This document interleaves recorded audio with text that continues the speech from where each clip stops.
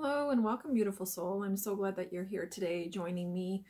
I'm so glad that you're interested in the information that I post because I do find it's extremely uh, relevant and I think it's um, something that people need to hear right now. These are messages that I'm bringing forth, but they're messages for me as well. Like I receive these messages first um, and apply them in my own life. And then once I see like the profound benefit and, and sort of have my this aha moment about it, then I get super inspired to share it with you. And so um, yesterday in working with some really amazing people, I had an opportunity to learn this really, really profound, beautiful lesson, which I think is so relevant, especially right now, especially before Christmas. Um, and that's about stuff. It's about the accumulation of stuff. It's about things and like what we have in our life and um, situations and even people, um, all kinds of stuff. Like it's not just necessarily material physical things but it's also like emotional burdens and uh, spiritual mental burdens that we're also carrying and it's the message that came through loud and clear yesterday was about like elimination. Uh, it was about purging and releasing uh, stuff and people and situations like basically everything and anything that just doesn't work for you anymore. Um, and everything and anything that makes you unhappy or just simply doesn't bring you joy, it doesn't even have to make you unhappy, just it doesn't bring you joy, like true, genuine joy, then those are the things that it's time to let go. And it's it's awesome. Like it's so liberating when you understand that you have an opportunity and you are more than capable of letting things go. You just have to be willing to see like what it is that you have to let go and what are those things that are no longer bringing you joy. So this week I went through this kind of purge through my own home and I went through my basement and just several rooms in the house, uh, including my Christmas stuff. Like I just went through kind of everything and I felt I really needed to just to live, like everything I looked at was does this bring me joy? Is this something that I, I feel a connection to? Is it bringing a, a memory of some kind? Is it uh, connecting me to like a certain person or or a situation or, and bringing memories from that? And, you know, do those memories bring me joy? Or is that something that I want to hang on to? Or, or are those things that I would prefer to perhaps just, you know, pass and, and let leave my life because they just don't serve me anymore or I just don't feel a connection to it anymore. So it's like that kind of thing. And it was awesome because this week I got, I literally filled a whole bedroom. Like it's not a huge, it's not like a hundred square foot bedroom, but I filled a whole bedroom with stuff, like just stuff that I just, I didn't find a use for. I didn't, I like, I looked at it. It didn't bring me joy. It was just like, wow. Like I just, felt this release, this letting go, this lightness once I did that. It was like, it was really profound. It was so cool. And I was like, this is so awesome and exciting. And I have to share this because it is the end of the year and we have the opportunity right now to, to really just kind of like, it's almost like a clean sweep. Like it's time and like we have to do this clean sweep before, you know, January kicks in in the new year. Um, because why take things over into the new year if you don't have to, especially things that you would and you could release right now, right? Like, why would you take those things with you? Um, it's not necessary. Uh, so, a really simple way to look at every situation in your life, I'm talking people, um, situations, stuff, items, um, just ask yourself this one question. Every single thing you look at, does it bring me joy? Like true genuine, heartfelt joy. Um, and if it doesn't, it's okay. It doesn't have to bring you joy. And that's the thing is it's more than anything. This is this little exercise is more about you just helping to navigate through your own emotional world. It's you helping yourself to figure out, you know, what it is that I'm actually connected to and want to be connected to and what are the things that I don't want to be connected to any longer it's so important to sort yourself out in this way um, emotionally because I find there's an incredible amount of stuff that we hang on to purely for emotional reasons and no other. Like it has no other value in our life other than some kind of a memory or an attachment. Um, you know, and then you just have to question though, like, does that attachment serve me? to have that thing, you know, still in my life or that person. And and I want to talk about relationships for a moment because again, super relevant.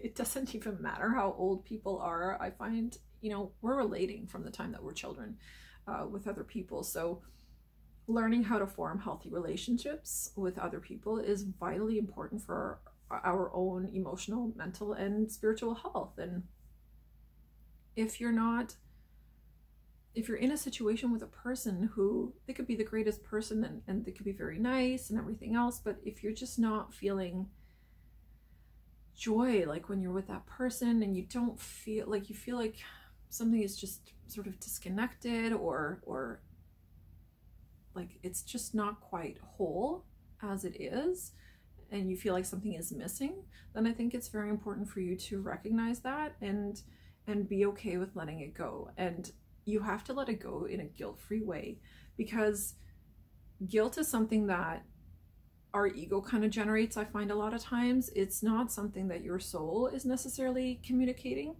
Um, so you have to really kind of assess the guilt that you feel with certain situations like what are you exactly feeling guilty about? Um, like if it's if it's a relationship for example like are you feeling guilty to leave the person because like they're a really nice person and you know they have all these great qualities but just not everything is like really lined up with you um you know so it's like then are you feeling guilty? Like oh well I feel bad. Like like why am I getting rid of this person out of my life when when you know they're like they're nice and whatever. Yeah. Okay. They're nice. And that's wonderful. But again does that person really truly bring you joy? And if not, then you know you got to ask yourself like then why am I doing it? It's it's really that simple. Like we humans make relationships so complicated. It doesn't need to be complicated. It's just simply love yourself enough to know that you deserve to be happy, to know that you deserve to feel joy in your everyday life and if you're not feeling that joy in your everyday life, then what can you do to like fill your own cup to to give to yourself? And in some instances it's actually eliminating a relationship. It's actually you know, perhaps telling somebody that it just no longer works and that is you loving yourself to say I have to say no to you to say yes to me. It's like that kind of a thing. You know what I mean? So there should be no guilt around that. Like if you're doing something because it brings you joy personally, um, I think you should do it regardless of what it is and regardless of what other people's opinions are. Because at the end of the day, you are here to fill your own cup. And there's this huge misconception in the world. Um, and it's, it's this gap that I'm trying to bridge for people when it comes to relating to others is please stop expecting other people to fill your cup. Other people cannot fill your cup because nobody truly knows what you need. You specifically need. Um, and it, and in reality, it's not really other people's job to figure that out. It's your job to figure that out for yourself. Um, because who knows you better than you? Like, not even your parents know what your true, full needs are and how they need to be met. And that's the reality. Most parents actually don't know how to meet their children's needs.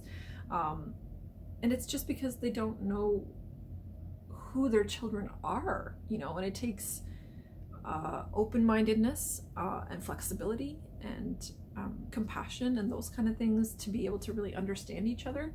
So, and we don't all have that. Um, and that's okay too you know we i explain to people that we all develop at different times and at different levels we're not all the same and we shouldn't be expected to be the same because it's ridiculous? We don't. Like we all spiritually evolve at our own pace you know and you know somebody could be here and maybe the partner that you're with is like here. So then there's this constant clash basically. There's this constant gap that you're trying to bridge with this person but you just can't because they're not like spiritually evolved to the level of where you are. And you could literally be just one step up or they could literally be just one step below you and already it's not a match you see what i'm saying so it's important to recognize that as well and i'm so sorry my voice is doing something super funky today. But it's really important to recognize that, like, if I'm not on par with somebody, then why why would I force it? Like, why would I? We can't um, we can't force others to evolve uh, faster, spiritually, emotionally, or mentally than what they are capable of. Okay, so that's just like a that's bottom line, basic um, spiritual understanding. You just can't force people to evolve faster than they're evolve evolving on their own pace. So because of that, it's again just focus on where your evolvement is at the moment and where am I right now and based on where I'm at. So if I'm on this plane, what aligns with me here at this plane? And what what are the things that are in my life? Does does that all still resonate with where I currently am right now? Um, because it may not. And as a matter of fact 2020 has been the year for things kind of not working and um, everything that is not working becoming extremely apparent and obvious. This is 2020 and we still have about a month of it left so I think it's a, it's vitally important to close off this year um, really looking at everything in your life and, and where you're at at the moment and just recognizing and seeing like does everything I have in my life right now, situations, people, things, items, everything, does that all align with who I currently am in this moment? That's it. Just ask yourself that question and then take your time. Take your time and observe and look at every single one of those things. Look at the items, look at the people, look at the situations, look at the job and the career and the everything, everything, everything. Look at it all and just see. Do these behaviors, do these thought patterns align with me? Do these things and items align with me? Do these people and situations and friends align with me? Do these coworkers, does this work, does this job align with me? Like, ask yourself all of those things because when you do, you're going to get some answers. That's the beauty of asking questions. You get answers. And the only thing you have to do to get those and receive those answers and actually hear them is just to quiet your mind. So use the meditation as a tool. Take 10 to 15 minutes or 20 minutes, whatever you're capable of. It doesn't even matter. It's never about the time or the length of time necessarily. I always find it's about connecting. You can connect for 10 seconds and it could be more meaningful than somebody who's connecting for an hour but not focused, right? So it's just all about connection and going within. And again, as we're in heading into winter and winter solstice is around the corner for us, um, winter is going to be asking us to go within big time, to go within and externally and really operate from heart center and and sorting ourselves and our stuff out. You know, that's what this winter is going to be about is you figuring out who you are and how you need to change and and um, sort of remorph into this new being so that 2021 can be an amazing year for you. That's kind of what uh, this sort of last phase or last month of the year, last few weeks of the year is about. So with that, I'm going to leave you to really ask yourself some deep questions. Ask yourself if you're willing to let go, what you're willing to let go of, what you're not wanting to take into into the following year into 21. Ask yourself who and what situations, uh, what people, what situations in your life um, are currently serving you or not serving you. You know, who brings you joy, what brings you joy, um, and soul search, and just soul search. You know, ask these questions. The more questions you ask yourself, the more you put out there, the more answers you're going to get, especially if you're open to them. Um, I always say transformation is always based upon willingness. It's nothing else, it's just willingness. How willing are you to change? So, may that be the last question I leave you with now and take some time, ponder, think about it. And uh, if you have any comments or questions, uh, let me know. Again, excuse me for my super raspy voice this morning, um, but uh, hopefully the message still comes across loud and clear. Um, and hopefully guides you in some way to wherever it is that you need to be guided. And really, that's mostly just to find yourself and find your true identity, which is within you, not outside of you. So have a beautiful day, guys. I love you all. Take care of yourselves. Love yourselves. Be good to yourselves. And don't forget, if it doesn't bring you joy, don't do it. Love you. Peace out. Have a great day. Bye.